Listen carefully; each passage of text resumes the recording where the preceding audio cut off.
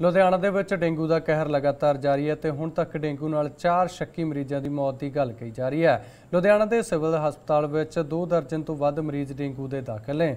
Civil surgeon ਨੇ 299 dengue ਦੇ positive ਮਰੀਜ਼ਾਂ ਦੀ ਪੁਸ਼ਟੀ ਕੀਤੀ ਹੈ।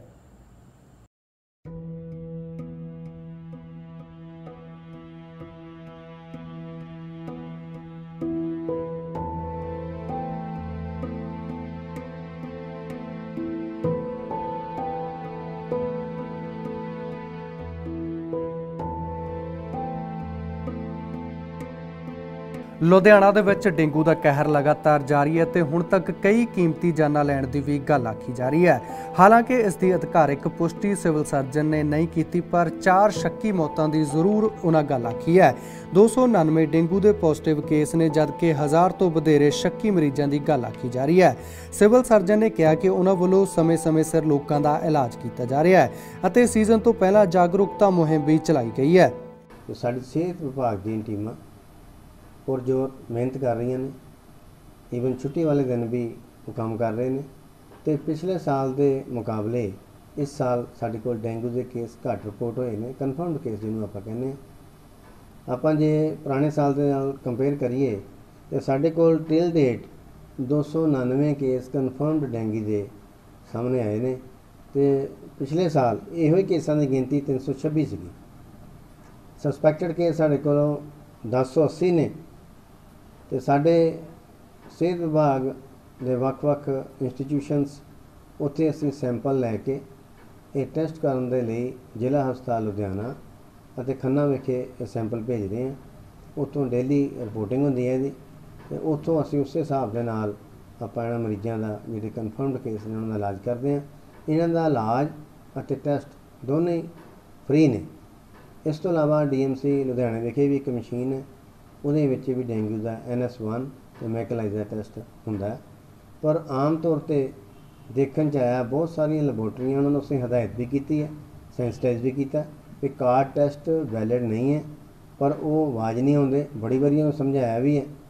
ਕਾਰਡ ਟੈਸਟ ਦਾ ਜਿਹੜਾ ਕੋਈ ਪੋਜ਼ਿਟਿਵ ਕੇਸ ਨਿਕਲਦਾ, ਕਨਫਰਮਡ ਕੇਸ ਨਹੀਂ ਹੁੰਦਾ। ਸੋ ਉਹਨਾਂ ਨੂੰ ਹਦਾਇਤ ਵੀ ਕੀਤੀ ਹੈ ਕਿ ਤੁਸੀਂ ਕਾਰਡ ਟੈਸਟ ਨਹੀਂ ਕਰਨਾ। ਇਸ ਤੋਂ ਇਲਾਵਾ ਬਹੁਤ ਸਾਰੇ ਮਰੀਜ਼ਾਂ ਨੂੰ ਭਜਣਾ ਪਾਉਂਦੇ ਆ ਡਾਕਟਰ ਲੋਕ ਵੀ ਕਿ ਤੁਹਾਡੇ ਪਲੇਟਲੈਟ ਘਟ ਗਏ। ਸੋ ਪਲੇਟਲੈਟ ਘਟਣਾ ਡੈਂਗੀ ਦੀ ਬਿਮਾਰੀ ਨਹੀਂ ਹੈ। ਪਲੇਟਲੈਟ ਜਦੋਂ ਬਹੁਤ ਜ਼ਿਆਦਾ ਘਟ ਜਾਂਦਾ, ਇਹਦਾ ਇਲਾਜ ਦੇ ਨਾਲ ਸੰਬੰਧ ਹੈ। ਬਹੁਤ ਸਾਰੀਆਂ ਹੋਰ ਵੀ ਬਿਮਾਰੀਆਂ ਨੇ ਜਿਨ੍ਹਾਂ ਵਿੱਚ ਪਲੇਟਲੈਟ ਕਾਊਂਟ ਘਟ ਜਾਂਦਾ। ਸੋ ਪਲੇਟਲੈਟ ਕਾਊਂਟ ਦਾ ਘਟਣਾ ਡੇਂਗੀ ਦਾ ਕਨਫਰਮੇਟਰੀ ਟੈਸਟ ਨਹੀਂ ਹੈ। ਇਹਦਾ ਲਿੰਕ ਟ੍ਰੀਟਮੈਂਟ ਦੇ ਨਾਲ ਹੈ। ਜਦੋਂ 20000 ਤੋਂ ਥੱਲੇ ਕਾਊਂਟ ਆ ਜਾਵੇ ਜਾਂ ਜਦੋਂ ਸਾਨੂੰ ਲੱਗੇ ਵੀ ਮਰੀਜ਼ 'ਚ ਬਲੀਡਿੰਗ ਟੈਂਡੈਂਸੀਜ਼ ਹੋ ਰਹੀਆਂ ਤੇ ਅਸੀਂ ਉਸੇ ਵੇਲੇ ਸਾਡੇ ਕੋਲ ਇੰਤਜ਼ਾਮ ਹੈ। ਆਪਾਂ ਪਲੇਟਲੈਟ ਦਾ ਸਾਡੇ ਕੋਲ ਟ੍ਰਾਂਸਫਿਊਜ਼ਨ ਆਪਾਂ ਕਰਦੇ ਹਾਂ। ਪੀਆਰਪੀ ਵੀ ਦਿੰਦੇ ਹਾਂ ਐਸਡੀਪੀ ਵੀ ਦਿੰਦੇ ਹਾਂ। ਉਹ ਸਾਡੇ ਕੋਲ ਉਪਲਬਧ ਨੇ, ਸਾਡਾ ਹਸਪਤਾਲ ਤਿਆਰ ਬਰ ਤਿਆਰ ਹੈ।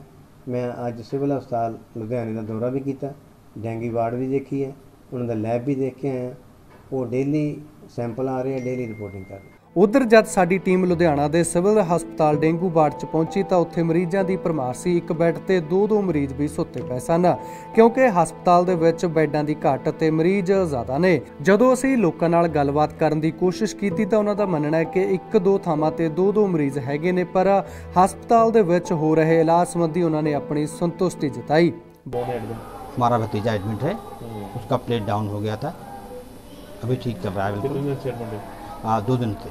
तो इलाज सही चल रहा हाँ? बिल्कुल सही चल रहा है। बिल्कुल सही चल रहा है।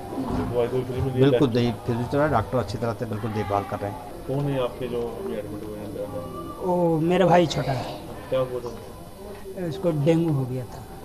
तो कैसे इलाज सही चल रहा हाँ? इलाज तो ठीक ही चल रहा है सब। तीन दिन हो गया तीन दिन ठीक ही हो गया। पहले प्राइवेट में कराए थे पर वहाँ नहीं हुआ तो यहाँ आए। रात को ग्यारह बजे रात में आए थे तीन तारीख को। उनतीस तारीख को। तो आसानी से है दवाई तो फ्री मिल रहा है कैसे? दवाई तो है क्या नाम है? क्यों किसको एडमिट कराया है? मेरी है। क्या हुआ? डेव यही सेल उसके घट गए थे।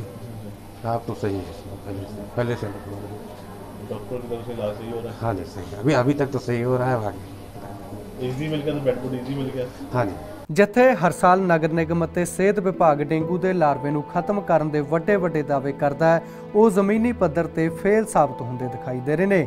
ਲੁਧਿਆਣਾ ਤੋਂ ਪ੍ਰਦੀਪ ਭੰਡਾਰੀ ਦੀ ਖਾਸ ਰਿਪੋਰਟ।